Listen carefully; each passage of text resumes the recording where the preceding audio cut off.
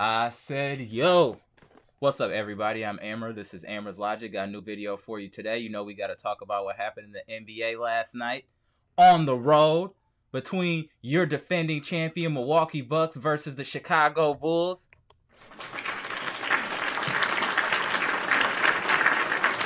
Y'all see, I didn't even have my little intro background screen. I went straight to the game stats because this was a savage beating by the Bucks. This is how you bounce back from a D plus performance and show championship grit. That's exactly what the Bucks did last night. I initially thought before this game that the Bucks would win, but I thought it'd be Giannis scoring 40 or 50. The reserving cat said, "No, we will participate in this win. We got you, Giannis. We know Middleton ain't here. We gonna step up." And boy, did some people step up last night. Let's give props to Grayson Allen on the road, getting buckets. He hit three straight threes in the first quarter. I knew it was on. Bobby Portis with the uh, protective eyewear on, going ham. Oh, what a great performance all around by the Bucks, and a great adjustment uh, with the double teaming of uh, DeMar DeRozan, getting him completely out of the game early. My problem is, I don't. I know we won by 30 last night, but it shouldn't take a full game for you to make adjustments.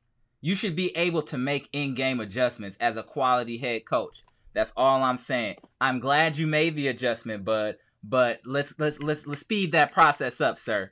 Let's speed that process up. But wow, what a great performance. The Bucks came out and dominated right off the bat yesterday.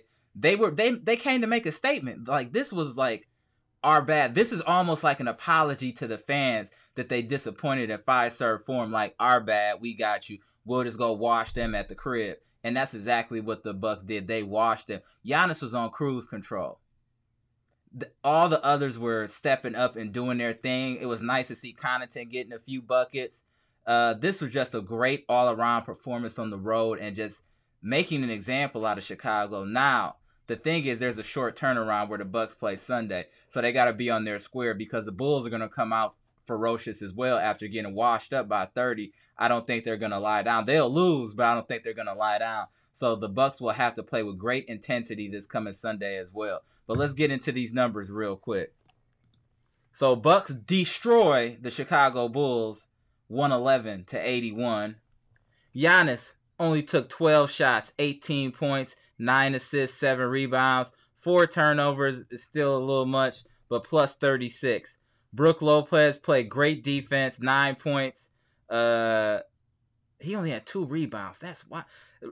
Uh, Lopez's rebounding is always. I don't know why. He's seven feet. He just not a great rebounder, but great defender. Had two great blocks. Bobby Portis just being Bobby Portis, 18 points, 16 rebounds.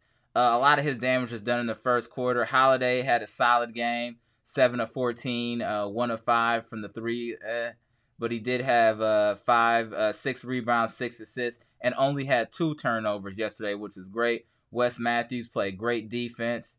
Connaughton finally hit a couple threes, two of seven, three of three from the line, plus 18.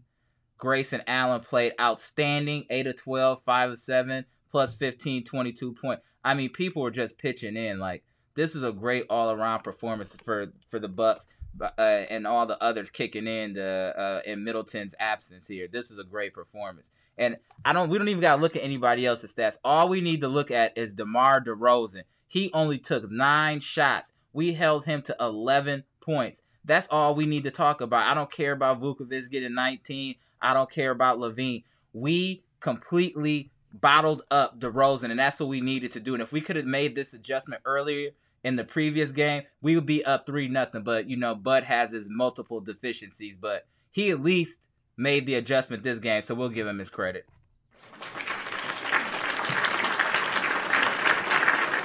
Buck shot decent from the field as well. I forgot to bring that up. 47%, 36% from three is okay. Uh, free throws, 71%. They only missed four, but they only took 14. So I just we just really played well. We held them to sub 40% from the field under 30% from uh, three, and they only shot 60% from the uh, free throw line. So this was just a, just a complete blowout, complete domination. But in these type of games, you got to understand that the following game, that the, the Bulls are going to come out playing hard. So we got to be ready to absorb that and push them back when they're trying to push us. But this is a great performance. I'm Amara. This is Amara's Logic. Just want to give you guys a recap. A recap. I said recap. Look at me. Uh, recap of the uh, NBA playoffs. Milwaukee Bucks versus Chicago Bulls game three, where the Bucks win 111 to 81 on the road and make an example out of our crosstown rivals, the Chicago Bulls. Gone.